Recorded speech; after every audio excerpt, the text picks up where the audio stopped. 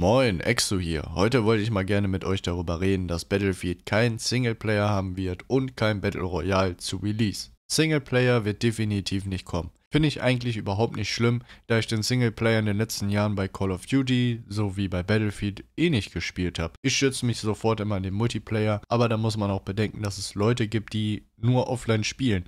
Und für die ist das diesjährige Battlefield überhaupt nichts. Dazu kostet die Kampagne, sprich der Einzelspieler, bei allen Shootern immer am meisten.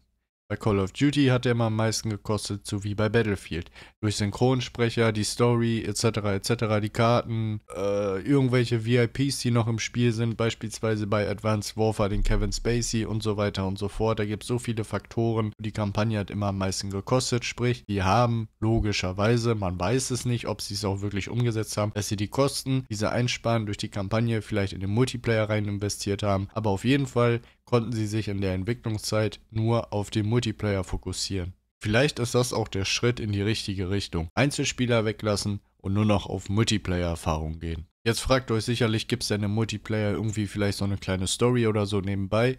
Da weiß man auch leider noch nicht so viel, wie sie das umsetzen wollen. Was, was man bis jetzt weiß, das ist halt die Flüchtlingskrise. Dann hast du noch diese ganze Umwelt-Klimasache. Wie sie das in den Multiplayer vielleicht mit Handlungen integrieren wollen, Weiß man nicht, vielleicht durch Audio-Files oder so. Wir warten mal ab. Vielleicht gibt es ja noch einen Koop-Modus, wäre vielleicht auch was Cooles, weil es gibt ja immer noch einen Modus, den sie nicht bekannt gegeben haben. Viele Fans hoffen, dass es der Titan-Modus ist. Wäre auf jeden Fall was richtig Geiles. Der Battle Royale wird auch etwas später kommen. Ich schätze mal wie bei Battlefield 5 ein paar Monate später. Ey, die sollen sich ruhig Zeit lassen, macht das alles in Ruhe fertig, dass wir einen geilen Battle Royale haben und nicht so ein Bugfest wie bei Warzone, wenn da irgendwas Neues rauskommt. Wir haben zu Release sowieso echt viel zu tun mit Battlefield, dann kommt noch Call of Duty raus. Also zum Zocken haben wir auf jeden Fall am Ende des Jahres genug. Sollen sie das in Ruhe fertig machen und wie gesagt eine richtige Granate raushauen.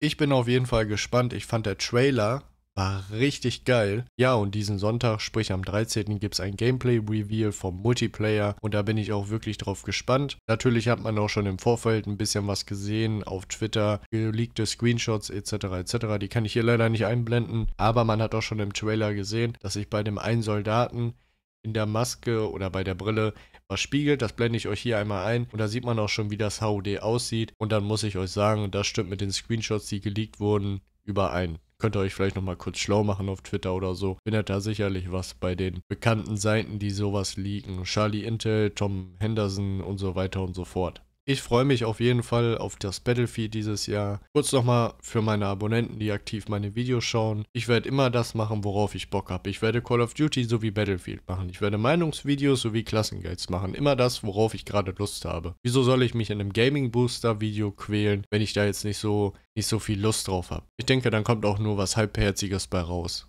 Das Thema ist leider sehr kompliziert, deswegen brauche ich da noch ein bisschen zu. Ich habe mir da Unmengen an Videomaterial reingezogen.